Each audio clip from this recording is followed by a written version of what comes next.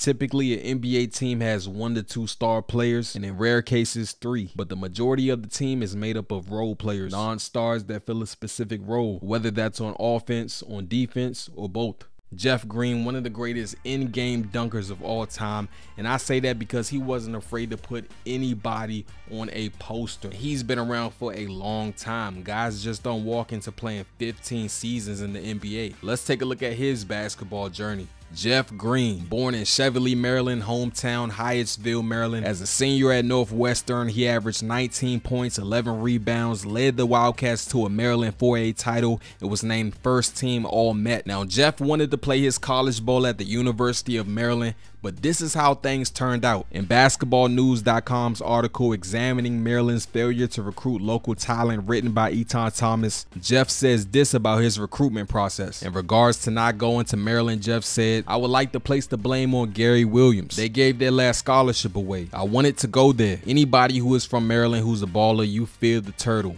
That's the first college you know. They wanted me to go prep, but I didn't want to go prep. So Georgetown was recruiting me and I was like, I'm going to Georgetown. That was the only visit I took. So in my mind, I wanted to make Georgetown the best area school during the years I'm there because Maryland didn't recruit me. And helping turn around Georgetown's program is exactly what Jeff did. As a true freshman, Jeff started every game, led the team in rebounds, assists, and blocks, was the team's second leading scorer, and was named Big East Rookie of the Year along with UConn's Rudy Gay. As a junior, Jeff had his best season yet. He was named Big East Player of the Year. Georgetown won the Big East in the regular season as well as the conference tournament, Jeff was named tournament MVP. The Hoyas went into the NCAA tournament as a two seed. The first two rounds, they defeated Belmont and Boston College. In their Sweet 16 matchup against Vanderbilt, Jeff scored a controversial game-winning basket, and the Hoyas punched their ticket to the Final Four after defeating UNC in the Elite Eight, the team's first Final Four appearance since 1985. But the Hoyas would go on to lose to Ohio State, and Jeff decided to forego his senior season and enter his name into the NBA draft. Here's one scouting report on the 6'8 forward, some of the strengths, versatile forward, good vision and passing ability, athletic, solid ball handler, and explosive leaper. Some of the weaknesses, inconsistent shooting, shot range, and foot speed. In the 2007 NBA draft, Jeff was selected with the fifth overall pick by the Boston Celtics, but his draft rights would be traded to the Seattle Supersonics as he was a part of that Ray Allen deal. Now, Jeff, his friend and fellow PG County native Kevin Durant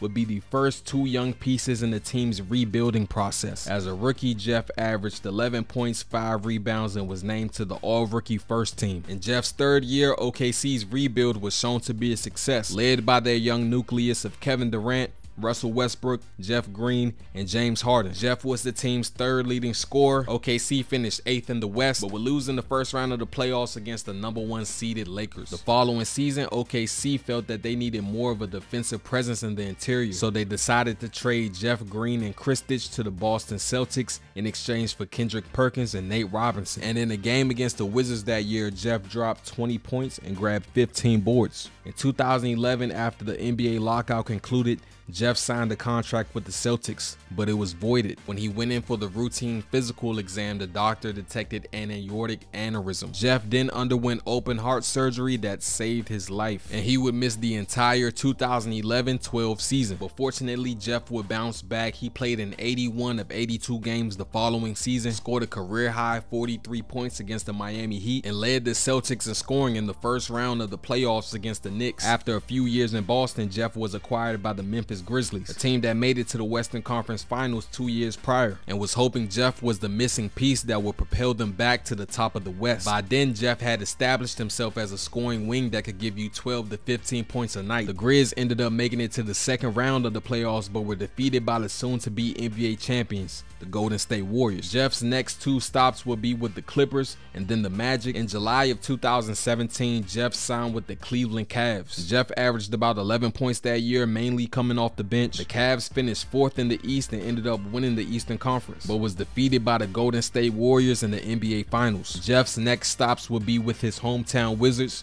Utah Jazz, Houston Rockets, where he reunited with his former OKC teammates James Harden, Russell Westbrook, and Thabo Sefolosha. In 2020, Jeff signed with the Brooklyn Nets, reunited with former teammate Kevin Durant, and once again with James Harden. Now, this Nets team had high expectations for their big three. Jeff averaged 11 points for the team that year, but really caught on towards the end of the season. The Nets finished second in the East and ended up facing off against the Bucks in the Eastern Conference semis. In a Game 5 win over the Bucks, Jeff went off for 27 points, but unfortunately for the Nets, the injury bug hit them at the wrong time, and the Bucks won in 7 in a very competitive series. The following season, Jeff signed with the Denver Nuggets. A starter for the majority of the season, he averaged about 10 points a game. This season, Jeff's role changed as he now came off the bench. The Nuggets finished with the best record in the West. This postseason run in year 15, Jeff Green was part of the team's eight-man rotation as the Nuggets defeated the T-Wolves, Suns, Lakers, and the Miami Heat in the NBA Finals. The franchise captured its first NBA title. Definitely a roller coaster journey for Jeff Green,